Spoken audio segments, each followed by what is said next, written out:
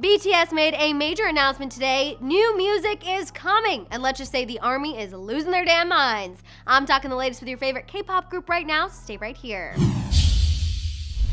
How's it going guys? I'm Madison Hill. I know you're here for the news on BTS's big announcement, but first please give this video a share, double check you're subscribed, and don't forget that notification bell.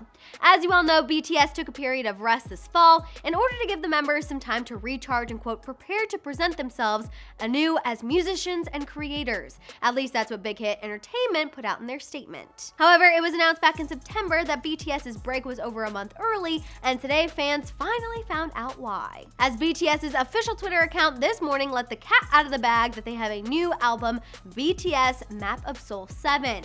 Big Hit Entertainment confirmed the album news with a statement saying that BTS Map of Soul 7 will be released next month on February 21st, with pre-orders already kicking off on Thursday. They ended their statement saying, quote, we look forward to continued interest and support from all of our army. Support is definitely something the army is already giving as they literally freaked out after the news of the new album was confirmed, saying things like, come back, come back, come back, and I was sitting peacefully, and then boom, hashtag 7 is coming. And finally, I feel alive! Who is with me? I feel like just about everyone in the army can relate to that last one, but what do you guys think? Were you excited to get confirmation that BTS is releasing new music and so soon? Will you be pre-ordering this week? Let me know all your thoughts and feels down below. For more on your fave celebs, make sure to check out today's episode of The Morning Tea. We go live tomorrow at 8.30 a.m. Pacific Standard Time. In the meantime, shop our store and make sure you're subscribed.